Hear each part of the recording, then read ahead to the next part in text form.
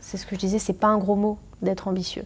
Et, euh, franchement, c'est l'ambition, c'est ce qui nous permet d'atteindre nos rêves. Donc, euh, dans, dans tous les cas, je pense que ça, c'est le premier moteur.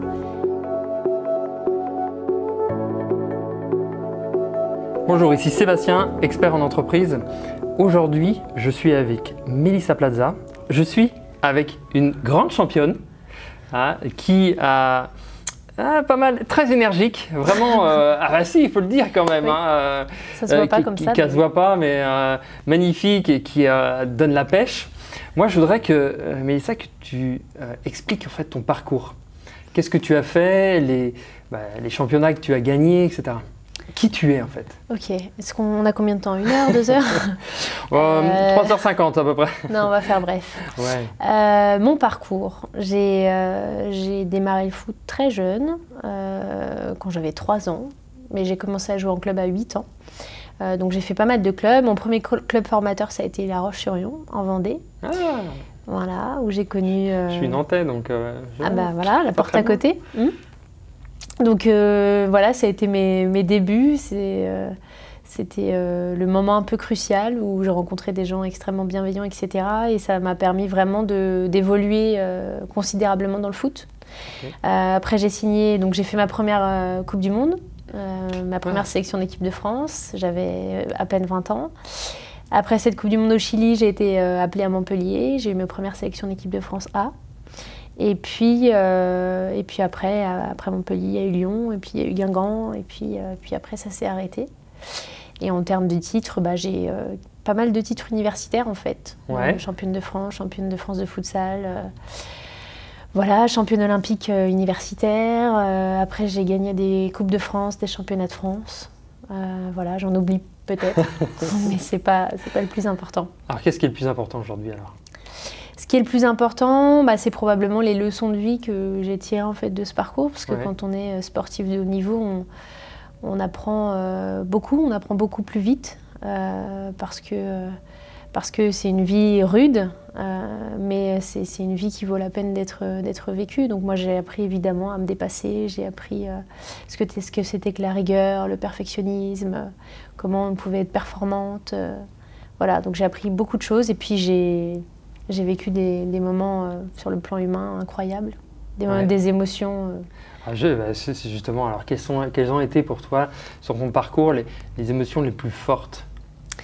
Alors dans le positif, euh, forcément mes premières sélections d'équipe de France, Ouais. ça c'était mémorable.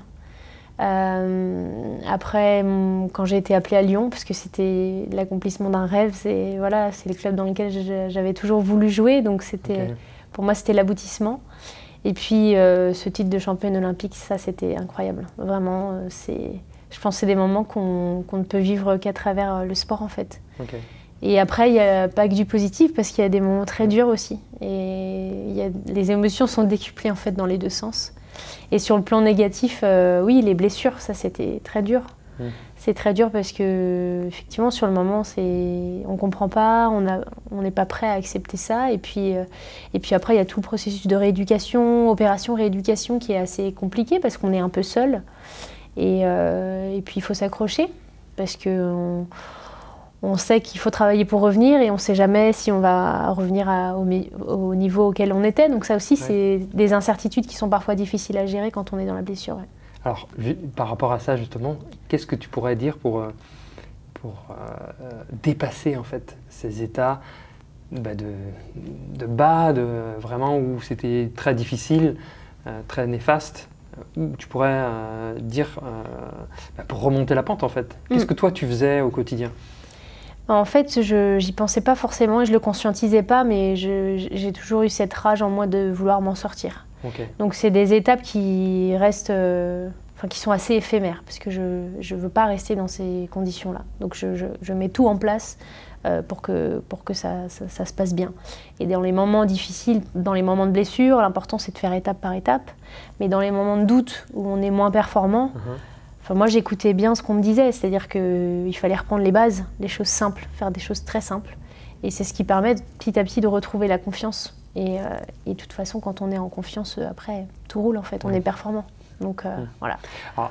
Quel je dirais, trois conseils que tu pourrais donner aux entrepreneurs qui nous écoutent aujourd'hui pour se dépasser et atteindre nos objectifs? Bah, C'est ce que je disais tout à l'heure, je pense qu'il faut être ambitieux. Ambitieux Il faut être ambitieux, il ne faut pas avoir peur de se rêver en grand, ça c'est sûr. Parce que voilà, c'est ce que je disais, c'est pas un gros mot d'être ambitieux.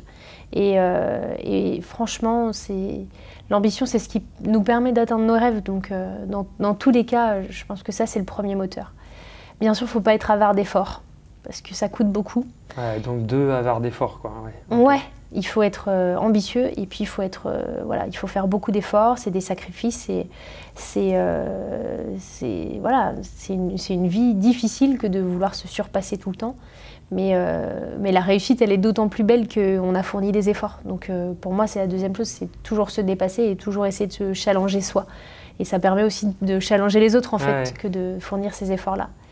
Et puis après, rester toujours extrêmement modeste sur euh, ce qu'on a fait. Parce qu'il faut garder en tête d'où on vient et, et c'est ce qui permet de, de continuer à vouloir se dépasser. Ouais. Alors qu'est-ce que tu pourrais dire, toi, sur ta plus grande qualité, justement?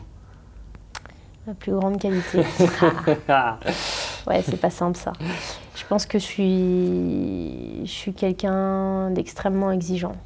Donc c'est à double tranchant. C'est voilà, je suis exigeante envers moi-même, envers les autres. C'est très bien parce que je me fixe toujours euh, des paliers à atteindre toujours plus haut. Euh, et après, ça peut parfois être éprouvant parce que d'être sans arrêt euh, tran- intransigeant avec soi-même, Mm. c'est aussi très coûteux dans le quotidien. Pour moi et pour celles et ceux qui m'entourent aussi. Donc, euh, dans l'avenir, alors, qu'est-ce que toi, tu vois pour ton avenir?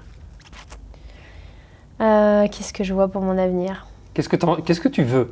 Qu'est-ce que tu veux pour... euh, En fait, je veux pas me fixer de limites. ok. Et je sais que No je limites. Ouais, Mélissa, no limites. no limites. Je sais que je suis promise à un bel avenir et, et je j'ai pas de doute sur le fait que, que je ferai toujours quelque chose qui me plaît et dans lequel je me sens bien. Alors, est-ce que tu crois au karma, alors?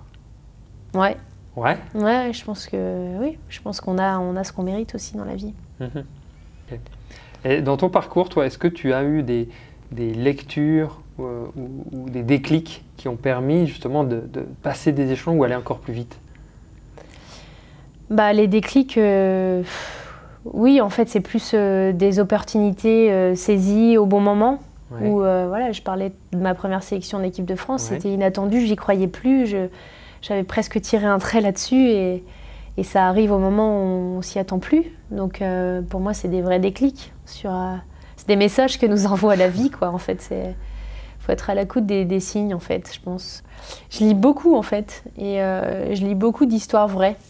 Ah, Voilà, de, de gens qui racontent leur vie. J'ai lu Petit Pays de Gaël Faye il n'y a pas longtemps. J'ai trouvé ça d'une beauté littéraire infinie. J'ai trouvé ça extrêmement poétique et en même temps très, très rugueux, très douloureux. Et je pense que c'est ces bouquins-là qui nous font relativiser sur ce qu'on vit et qui Mm. nous font euh, garder en tête que la vie est belle et que ce qu'on vit est quand même euh, cool. super. Est-ce que tu pourrais transmettre un dernier mot à ceux qui nous écoutent aujourd'hui? Allez, un dernier secret, un dernier Bah, truc. euh, Ouais, be yourself, quoi. Yes, be yourself. Ouais. Bon, super. Merci Mélissa en tout De cas rien. pour euh, cet échange. Faites un super pouce sur la vidéo si vous avez aimé cette vidéo. Je suis sûr que vous avez aimé de toute façon. Et abonnez-vous à la chaîne YouTube pour recevoir les prochaines vidéos des champions. Moi, je remercie très fortement en tout cas Mélissa. Merci à toi Merci. Mélissa pour ça. Et moi, je vous retrouve à une prochaine vidéo. Bye, ciao